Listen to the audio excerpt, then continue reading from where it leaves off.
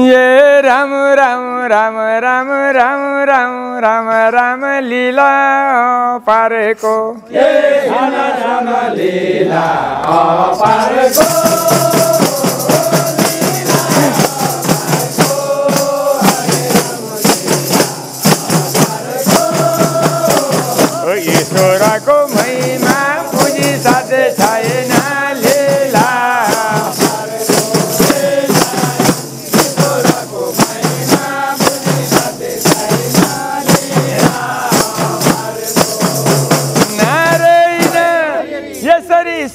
महिमा बुझी साध्य छैन। सुन त राजा भन्दै सुखदेवले परिचितलाई बताउने क्रममा यसरी बताउँदै बताउँदै जानुभयो विभिन्न ठाउँमा भगवान् शिवको। अनि स्तम्भहरू मूर्तिहरू चाहिँ आधार हुँदै गए स्तमित हुँदै गए। कहिलेदेखि र कसरी भन्दा जब सत माता सतीको देहान्त भइसकेपछि अनि भगवान् शिवले मरेको सतीलाई कानमा राखेर नारायण लागे घुम्नलाई।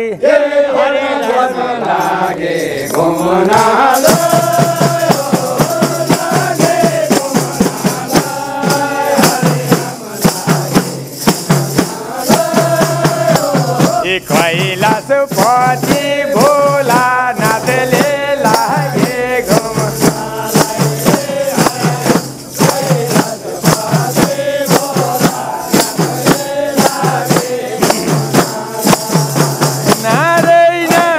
यसरी सतीको देहान्त भइसकेपछिको सतीको मायाले गर्दा यो संसारमा सबैभन्दा भगवान् मध्ये संसारमा चराचरमा श्रीमतीलाई बढी माया गर्ने भनेको भगवान् शिवजी नै रहेछन्। किनभने मरेको सतीलाई मरिसक्दा पनि सतीलाई उहाँको मायाले कानमा हालेर संसार घुम्न लागे।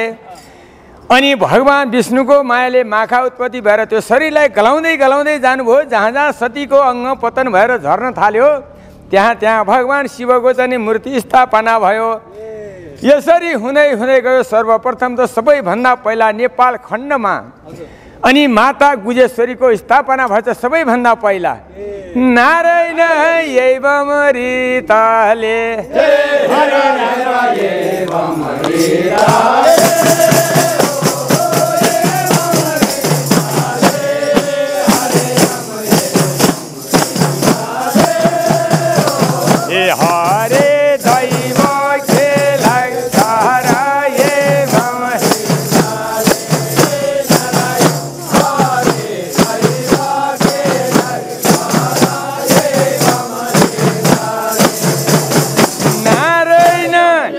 यसरी जाने घुम्ने क्रममा घुम्दै घुम्दै भगवान् शिव जाँदै गर्दाखेरि अनि यो ठाउँमा पनि आएर जाने घुम्दै जाँदा जाने सतीको अङ्ग केही पतन भएछ यहाँ पनि। माता सतीको अङ्ग पतन भएर उत्पत्ति भएको ठाउँलाई यो कुसको जङ्गलमा स्थापना भएको हुनाले कुशेश्वर महादेव भनी नामाकरण भएछ।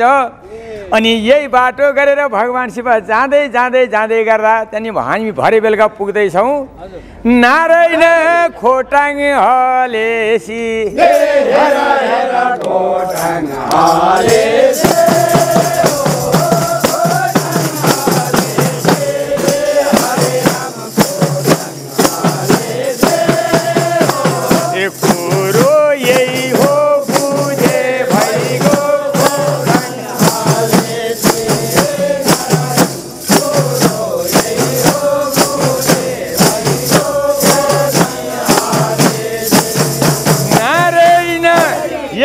भगवान् शिवले मरेको माता सतीलाई कानमा राखेर पिठमा भ्रमण गर्ने गर्ने क्रममा जाँदै गर्दाखेरि अनि यही बाटो गरेर जानुभएको रहेछ। जाँदै गर्दाखेरि कहाँ पुग्नु भएछ खोटाङ जिल्ला। अनि हलेसी महादेवको स्थानमा पुग्नु भएछ त्यसको किम्बदन्ती अर्कै छ। त्यो भोलि त्यहीँ गएर यहाँहरूलाई त्यसको बारेमा म सुनाउँला।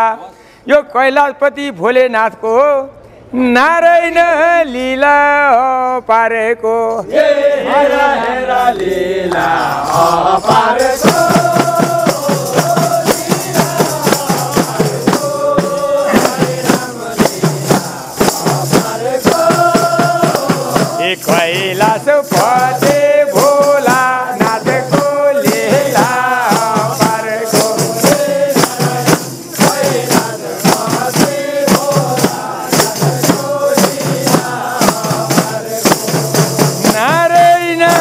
यसरी भगवान्को लीला पार पार्थ राजा भनेर स्वामी सुखदेवले राजा परीक्षितलाई नारायण लागे बताउन।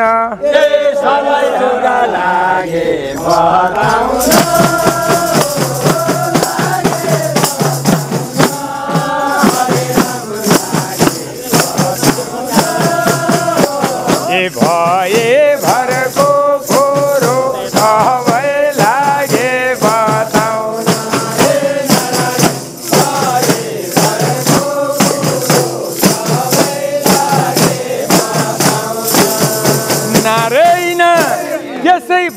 जाने देवता देवताले भरिएको पुण्य भूमि नेपाल भनिन्छ।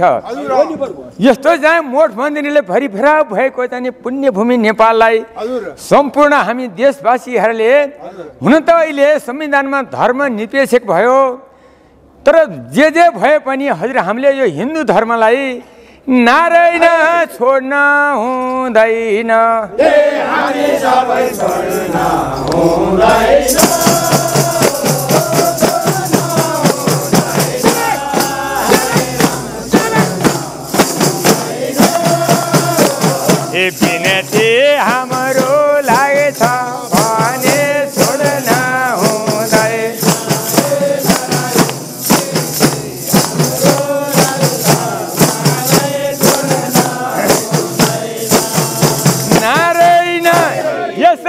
भगवान्हरू जाने विभिन्न मोठ मन्दिरले भरिभरा भएको पुण्य भूमि नेपाल हो। अनि हाम्रो मूल धर्म भनेको नि हिन्दू धर्मै हो। जहाँ बस्यो आफ्ना चाहिँ धर्म संस्कृति आफूले हामीले बचाइराख्नुपर्छ। आफ्नो चाहिँ परम्परा र आफ्नो धर्मलाई नारायण बिर्सन हुँदैन। ए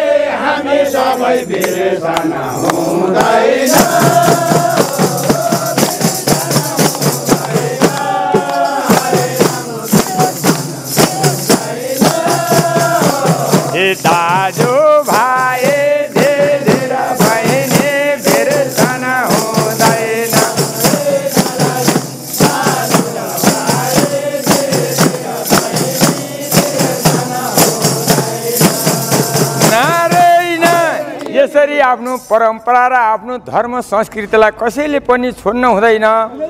यो संसारमा भगवान् शिवभन्दा ठुलोहरू देवता पनि छैनन्। देवको देव महादेव भनिन्छ। देवताका पनि देवता भनेको भगवान् शिव नै हो। उहाँको जन्म मृत्यु पनि छैन। अझै भनिन्छ शिवजीलाई यस्ता भगवान् शिवको विभिन्न पर्वहरू आउँछ। यो पर्व अनुसारको हामीले पूजा र आराधना गर्नुपर्छ। बेलपत्र अर्पण गर्ने अनि जलधारा गर्ने। यति गर्नाले जन्म जन्मको पाप नाश भएर हजुर हामी सारा भक्तहरू नारायण जान्छौँ कैलासमा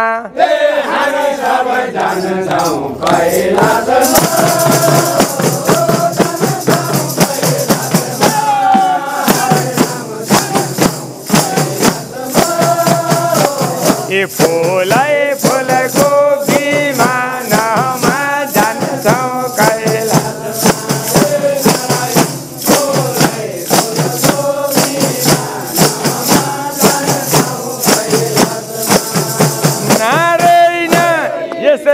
परम्परादेखि चल्दै आएको महान शिवरात्रि भनेको। अनि यो कतिले बुझ्नु भएको छैन होला यो शिवरात्रि भनेको कतिले शिव जन्मेको दिन भनेर मान्नुहुन्छ तर होइन। शिवजी जन्मनु भएकै होइन। न उहाँको जन्म छ न मृत्यु छ। उहाँ अझै हुनुहुन्छ। उहाँको एउटा ओमकार बिन्दु छ। यो संसार चराचर जगत सृष्टि गर्ने भनेको भगवान् शिव नै हो। यसरी गर्दै जाँदा महान शिवरात्रिको दिन एउटा सिकारीले सिकार खेल्दै गर्दा अनि अत्यन्तै दिगदारी भएर बेलको पात टिपेर हुर्याउँदाखेरि भगवान् शिवको मूर्तिमा बेलपत्र परेको हुनाले अनि भगवान् शिव र पार्वती घुम्दै आउँदा आफ्नो शिरमा भगवान्को स्तम्भमा बेलपत्र देखेर अनि त्यो सिकारीलाई अगाडि बोलाएर भगवान् शिवजीले नारायण वरदान दिनुभयो ए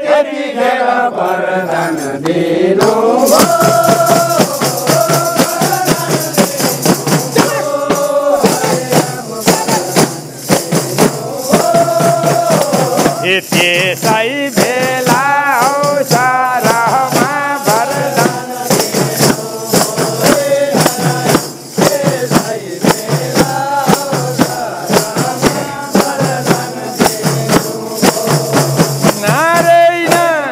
यसको कथा अलि लामो थियो एउटा सिकारी सिकार गर्दै जाँदा सिकार नभेटेको बिरहमा एउटा रुखमा चढेछ बेलको रुखमा।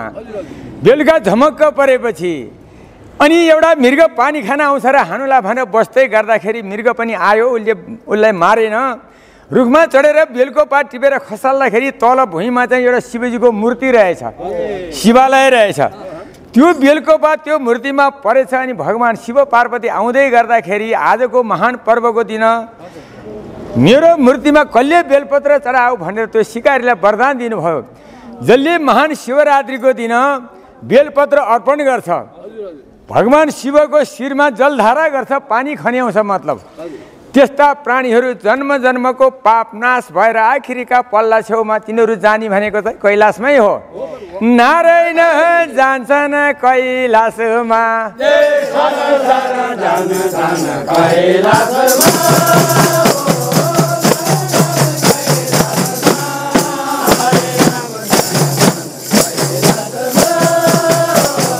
हरे काहे माना कहना जन जन कैलाश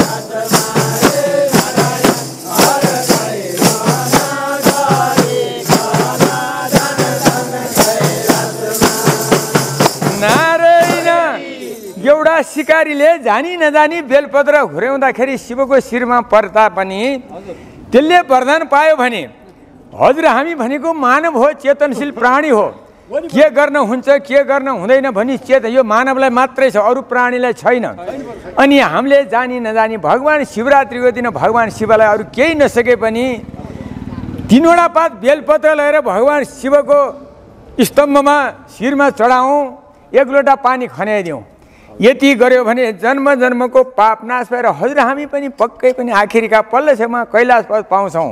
यसरी फेरि यता सुखदेवले परीक्षितलाई भन्नुभयो हे महाराज परीक्षित यो शिवरात्रिको महत्त्व भनेको अनि धेरै किम्वदन्तीहरू छ महाराज। भनेर स्वामी सुखदेवले राजा परीक्षितलाई नारायण लागे बताउन।